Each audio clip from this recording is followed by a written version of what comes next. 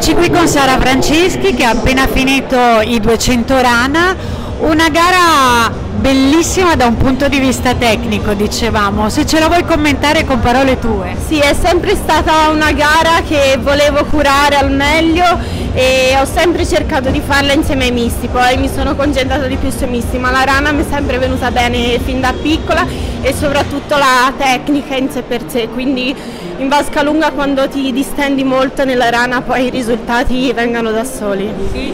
E poi comunque ha colpito anche la gestione di ogni 50. Sì, esatto, di passare più lunga, più fluida per poi fare la gara in progressione.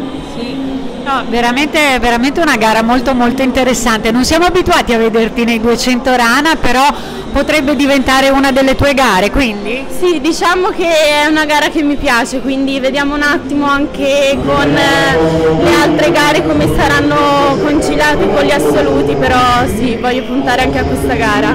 Quindi ci stai facendo un pensierino anche per Riccione? Ma sì, vediamo come vengano gli allenamenti, però penso di sì, dai. Bene, e allora ci vediamo a Riccione. Sì, a presto, ciao. Grazie.